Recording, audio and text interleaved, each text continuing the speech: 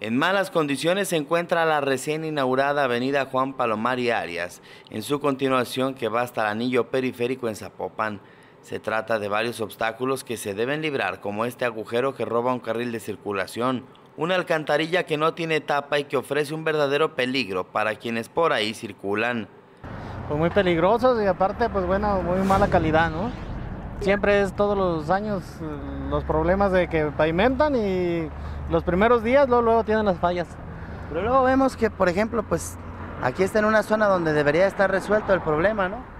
Pues sí, pero ya, ya como todos sabemos, eh, ya no, no hay calidad en, las compañías constructoras que les dan al, gobierno. No hay calidad, ninguno, en puentes, en todas las vías eh, hay problemas. Pavimentan o ponen asfalto y es lo mismo, ¿no? Siempre falla, siempre falla eso.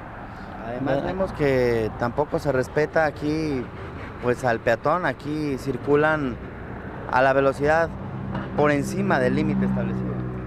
Eso siempre, siempre nos lo vamos a pasar y, no hay ningún señalamiento de, para el peatón, ¿no? Siempre, por eso hay muchos accidentes. Aquí todavía no está tan traficado, pero más adelantito no hay ningún señalamiento para el peatón.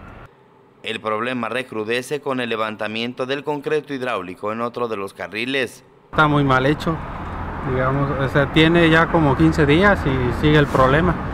Oiga, ¿y ya lo reportaron a las autoridades? Creo que ya lo reportaron los del fraccionamiento. ¿Y qué pasó? ¿No este, pusieron conos y todo, pero la gente no lo respetaba y se los volaba. Y hasta ahorita sigue el mismo problema. Vemos que la calidad de los pavimentos pues no es la más adecuada del concreto porque ya está partido en una parte yo también.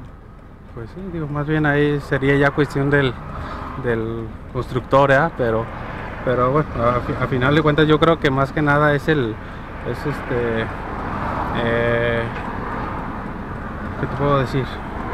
Pues la, no sé si el método de construcción no está dando resultados o algo, porque cualquier cosa y luego, luego se, se levantan. Además de esto, la calle se torna peligrosa, pues no está diseñada para todos. No hay un solo cruce peatonal y los automovilistas no respetan el límite de velocidad, pese a que se han colocado anuncios de fotoinfracciones.